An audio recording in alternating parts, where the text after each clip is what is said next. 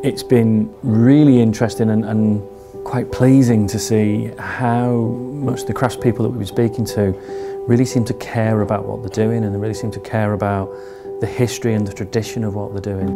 And I think and I hope that one of the things that Crafting Futures can do is put on workshops for craftspeople to help them think about, okay, well, we're brilliant at making the product, how do we then run the business? How do we then make sure that we can employ people? How do we then make sure that, you know, we can, we can make, make money from this and, and reach international markets?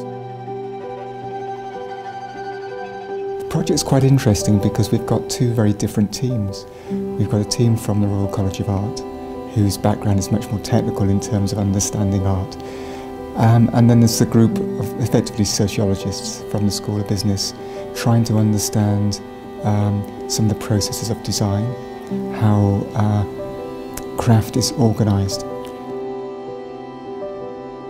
What I was really surprised is how much people care about craft, the craft makers, the passion and the love that they have for craft and the aim that they have to continue the tradition. But it's not just about tradition, it's about innovating the traditions.